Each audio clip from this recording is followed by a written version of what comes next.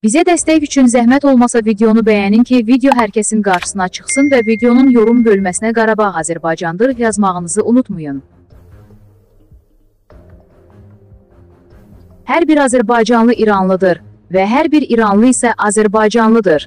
Həmin Azərbaycanlı və İranlı İrandan kənarda və başqa pasportu olsa belə.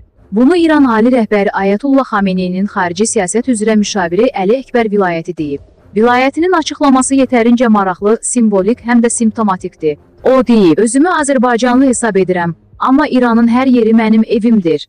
Vilayəti bildirib ki, İranın heç bir qonşu ölkə ilə müharibə səbəbi yoxdur. Qürurla vurğulayıram ki, mən də digər İranlılar kimi özümü Elbrus dağının ətəklərindən Azərbaycanlı hesab edirəm. Amma İranın hər yeri mənim evimdir. Son günlər bəziləri məlumatsızlıqdan, bəziləri isə pis niyyətindən İranın Azərbaycan Respublikası ilə müharibə etmək istədiyi barədə şayələr yayırlar.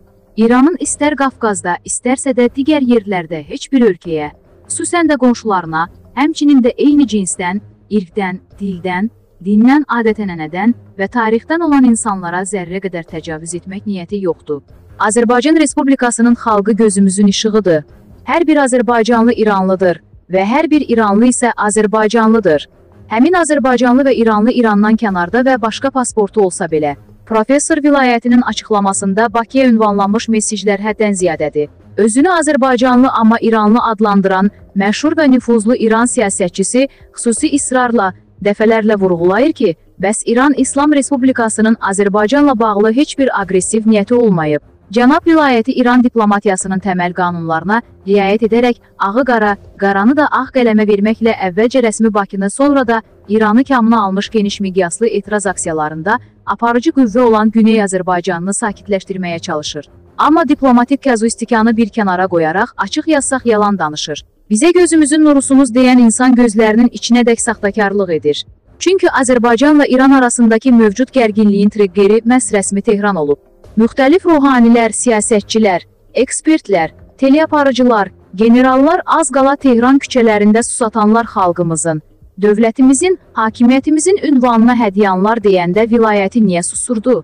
Regionda ərazi bütövlüyünün pozulması bizim üçün qırmızı xəttir. Siyonist rejiminin şimal sərhədlərimizdə möhkəmlənməsinə icazə verməyəcəyik və sairə kimi sərsəm bəyanatlar səslənəndə açıq-aşkar şəkildə Ermənistanı dəstəklənməyə yönəlmiş çıxışlar ediləndə vilayəti niyə danışmırdı?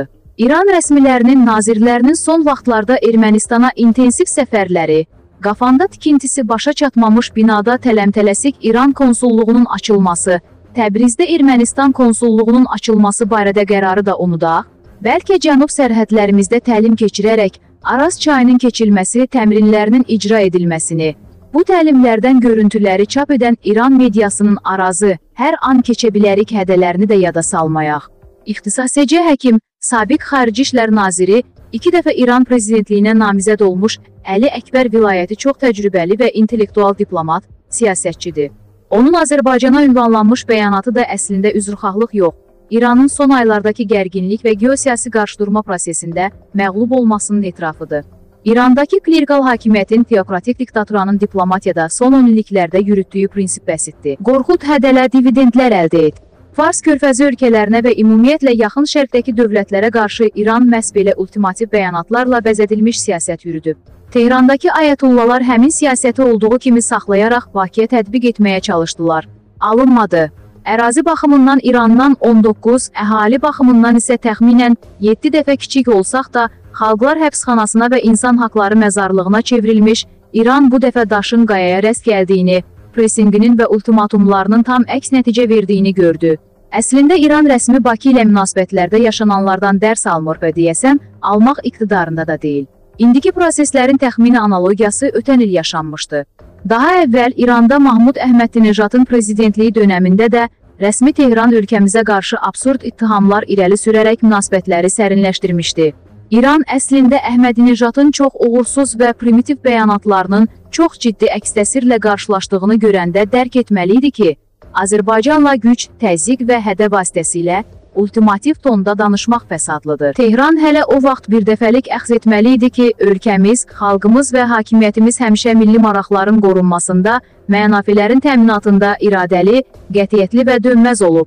Siyasətimizdə bir mikronluq belə dəyişiklik yoxdur. Maraqlarımızı əvvəlki qətiyyətlə qoruyuruq və təmin edirik. Fəqət bu dəfəki proseslər Tehran teokratiyasını çox təşvişə saldı.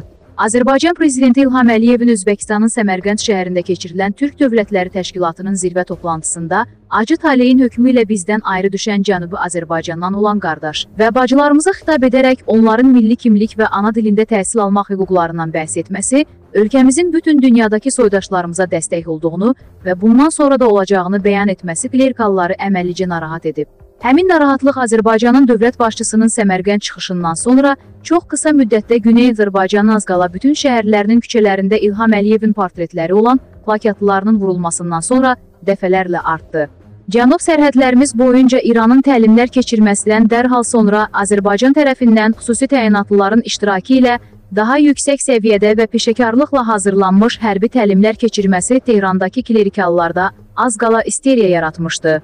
Daha sonra İranın Azərbaycan ərazisində qurduğu və geniş həlqəyə malik olan cəsus şəbəkəsi ifşa olundu. Faktlar və sübutlar nümayiş olundu. İranın Azərbaycan daxilində illər ərzində qurduğu və hazırladığı nüfuz şəbəkəsi və dini ideoloji təbliğat resursları qısa müddətdə iflic vəziyyətinə gətirildi. Bütün bunların ha belə aşkar ermənipərəst siyasət yürütməsi nəticəsində İran, İran Azərbaycanda cəmiyyətin nəzərində özünü tam ifşa etdi. Tehrandakı analitiklər, siyasətçilər və ekspertlər də artıq etiraf edirlər ki, Azərbaycanın ictimai rəyində İranın nüfuzu faktiki olaraq yoxdur. Azərbaycanın İsraildə səfirliyinin açılması barədə qərarsa Tehran teokratiyasına gür zərbəsi oldu. Əli Əkbər vilayəti İranda yetirəyincə nüfuz və çəki sahibi, ölkənin xarici siyasətinin kölgə rejissoru, İranın de facto Xarici İşlər Nazirliyi başçısıdır. Onun ölkəmizə və xalqımıza ünvanlanmış bəyanatı əsla təsadüfi, impulsiv açıqlama hesab edilə bilməz. Bu bəyanat İranın Bakıya ünvanladığı ən yüksək səviyyədə məğlubiyyət etirafı, münasibətlərdəki ifrat gərginliyə son qoymağa və əlaqələri normallaşdırmağa çağırışdı. Düşünürəm ki, Əli Əkbər vilayətinin çağırışını rəsmi Bakı laqeydcəsinə qarşılamayacaq. Çünki İranla münasibətlərin daim gərgin saxlanması Azərbaycan dövlətinin geosiyasi və geostrateji maraqlarına cavab vermir. İstənilən halda gərginliyin amplitudası azalmalıdır. Lakin bu heç bir halda maraqlarımızdan və mənafilərimizdən yota qədər geri çəkilmək, İrana inanmaq anlamına gəlmir. İran bizə müttəfiq, qardaş ölkə olmayıb və olmayacaq. Bu ölkə ilə ən yaxşı halda adi tərəfdaşlıq və qonşuluq münasibətlərini yürütməliyik. Güney Azərbaycandakı soydaşlarımızı dəstəkləməyə davam etməli, İrandakı klerikal hakimiyyətin iç niyyətinin Azərbaycanın dövlət kimi məhv olmasından ibarət olduğunu unutmamalıyıq. Rusiyanın paytaxtı Moskvanın Komsomol meydanında yerləşən anbarlarda güclü yanğın baş verib. Axaras xəbər verir ki, yanğının söndürülməsinə 80 yanğın söndürən və 20 texnika cəlb edilib. Yanğının sahəsi 1,9 min kvadrat metr təşkil edir. Yanğının baş verdiyi tikilidən 7 nəfər təxliyə edilib. İlkin məlumata görə yanğın zamanı xəsarət alan olmayıb. Yanğın zamanı binada olan 2 nəfər həlak olub. Bu barədə Fövqəladə Hallar Nazirliyi məlumat yayıb. Yanğında ölənlərin sayı 5-ə çatıb. Məlumatı Rusiya Fövqəladə Hallar Nazirliyi təsdiqləyib.